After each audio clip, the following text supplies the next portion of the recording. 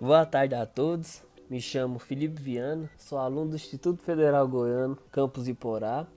Atualmente estou frequentando o quinto período da agronomia e vou explicar um pouco sobre meu trabalho, que foi a viabilidade da coinoculação na soja e da inoculação de gramíneas forrageiras com o uso do azospirilo brasiliense em sistemas de integração lavoura-pecuária. Bom, todos sabem que a soja é uma das principais culturas utilizadas pelos produtores de todo o território brasileiro e desde quando começou a se produzir, sempre foi adotado sistema que ajuda essa espécie a melhorar seu desenvolvimento. Para essa espécie, além da adoção de sistemas de manejo, como integração lavoura-pecuária, que proporciona a melhoria do solo, também tem o uso das bactérias fixadoras de nitrogênio, pertencente ao gênero Brizóbium. Foi uma das principais tecnologias que alavancaram o cultivo da soja. Considerando o potencial do uso dos espirilos em gramínea, o seu baixo custo de aquisição, a inoculação das sementes das espécies utilizadas para a produção de forragem em sistema de integração lavoura-pecuária pode resultar em maior produção de fitomassas para alimentação animal, para formação de palhada, sem contar que o consórcio no sistema de integração lavoura-pecuária resulta em, diminui em, diminuição de gastos e aumento produ na produção da soja.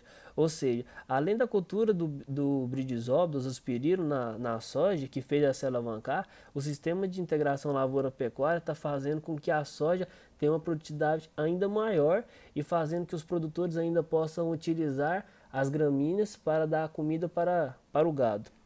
Desta forma, o uso dessas bactérias, que é o bradisóbio mais os aspirilo, que é a coinoculação na soja e a inoculada, no caso dos aspirilos nas gramíneas forrageiras, pode contribuir substancialmente para o incremento da produtividade do sistema e redução do custo de produção, como a utilização diminuída de fertilizante nitrogenado, pois é tudo que o produtor precisa, gastar menos e produzir mais. Nesse sentido, buscando a sustentabilidade da atividade agropecuária e do sistema de manejo adotado, tem-se a necessidade de se desenvolver pesquisas voltadas ao uso desses produtos biológicos, sejam elas relacionadas aos aspirinos em gramíneas forrageiras ou de bradisóbio mais aos aspirinos na soja. Sendo assim, esse trabalho visou avaliar o efeito do uso do azospirilo brasiliense, inoculado com bradisóbio na soja e inoculado em diferentes espécies forrageiras, quanto ao rendimento de grão, produção de forragem. Assim, a gente levou como metodologia, foi é, todo semeada no dia 19 de novembro a soja e após faltando poucos dias para a colheita foi semeada as gramíneas. Na, na soja foram avaliadas número de vagens por planta, número de grãos por vagem por planta, número de galhos, percentual de grão mal formado, peso de mil grãos, altura de planta, massa de grãos por planta, produtividades. Já nas gramíneas, que foram utilizados três tipos de gramínea, Quênia, Charaés e Rusizienses. É, foi avaliada após a colheita da soja, foi retirada as gramíneas e foi avaliada massa fresca e seca total produzida pela parte aérea, massa fresca e seca das folhas, massa fresca e seca dos comos, altura das plantas, número de perfis, número de folhas por planta e a contribuição que fez a soja aumentar sua produção em diferentes tipos de capim. Bom, podemos ver que na soja os números de nó reprodutivo foram muito maior no Quênia, porque o Quênia teve uma palhada muito melhor, muito mais densa, que fez com que a, a soja é, se produzisse melhor, fazendo com que os números de nó, que lá na frente na produtividade vai aumentar, porque quanto mais números de nó, a maioria das vezes, quanto maior o número de nó reprodutivo, maior vai ser a sua colheita da soja. Quando a gente passa para a produtividade, a gente vê de novo o Quênia sobressaindo entre os outros.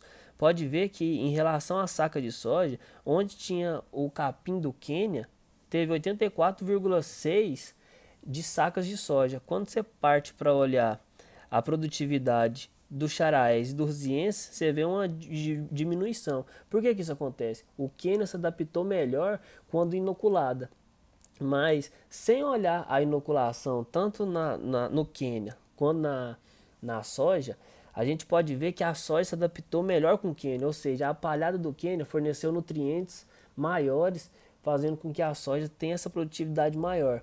Então, se a gente para para olhar, a gente vê que quando você utiliza o capim Quênia, ele vai fornecer para a planta melhorias no solo, raiz, isso tudo vai fazer com que a planta produza mais, que é o que a gente vê nesse trabalho. Quando a gente já parte já para pós-colheita, que no caso é a massa da, da, dos capim, a gente vê que o Quênia, de novo, ele teve uma relação, é, uma produtividade maior. Por que, que isso acontece? Isso tudo está em relação folha-como. Quando você para para olhar o charaés, o rosiense, ele tem um número de, de, de folha e como diferente do Quênia. Quando você vai para o rosiense, você vê essa relação folha e como muito menor, ou seja, tem muito mais como do que folha. Então a palhada não se torna muito boa. Quando você olha o Quênia, o Quênia tem muito mais folha do que como, fazendo com que a produção da, da, dessa massa fresca se torne muito maior, ou seja, tenha mais massa verde do que como. E isso vai fazer com que a sua parada seja melhor. O solo vai estar mais coberto, as bactérias é, nitro, é, de nitrogênio que está na soja vai, vai se adaptar melhor porque ela prefere um solo mais úmido e isso vai acontecer com, com a palhada melhor. Por isso que a soja teve maiores números de produtividade no Quênia. Teria mais, tem mais resultados para falar, para poder explicar melhor, mas devido ao tempo não dá para mostrar todos. Então foi só um, um, um, breve vídeo explicando um pouco sobre essa produtividade da soja em relação aos capins. Muito obrigado, fica o meu muito obrigado aí e até mais.